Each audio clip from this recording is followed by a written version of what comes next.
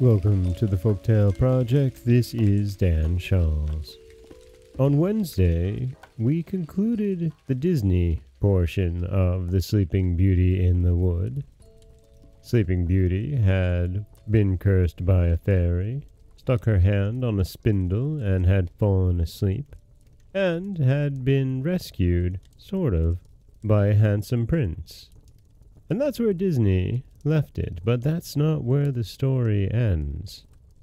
So here we go with part four of The Sleeping Beauty in the Wood. They went into the great hall of looking glasses where they supped and were served by the princess's officers. The violins and hautboys played old tunes, but very excellent, though it was now above a hundred years since they had played. And after supper, without losing any time, the Lord Almoner married them in the chapel of the castle, and the chief lady of honor drew the curtains. They had but very little sleep, the princess had no occasion, and the prince left her next morning to return to the city, where his father must needs have been in pain for him. The prince told him that he lost his way in the forest as he was hunting, and that he had lain in the cottage of a charcoal burner who gave him cheese and brown bread.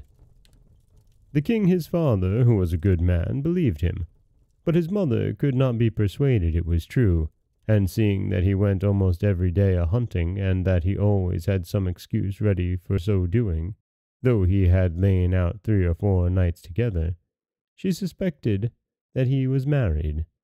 For he lived with the princess above two whole years, and had by her two children, the eldest of which, who was a daughter, was named Morning, and the youngest, who was a son, they called Day, because he was a great deal handsomer and more beautiful than his sister. The queen spoke several times to her son, to inform herself after what manner he did pass his time, and that in this he ought in duty to satisfy her. But he never dared to trust her with his secret. He feared her, though he loved her, for she was of the race of the ogres, and the king would never have married her if it had not been for her vast riches. It was even whispered about the court that she had ogreish inclinations, and that Whenever she saw little children passing by, she had all the difficulty in the world to avoid falling upon them. And so the prince would never tell her one word. But when the king was dead, which happened about two years afterward, and he saw himself lord and master, he openly declared his marriage, and he went in great ceremony to conduct his queen to the palace. They made a magnificent entry into the capital city, she riding between her two children. Soon after, the king went to make war with the Emperor Codlebert, his neighbor. He left the government of his kingdom to the queen, his mother, and earnestly recommended to her care his wife and children.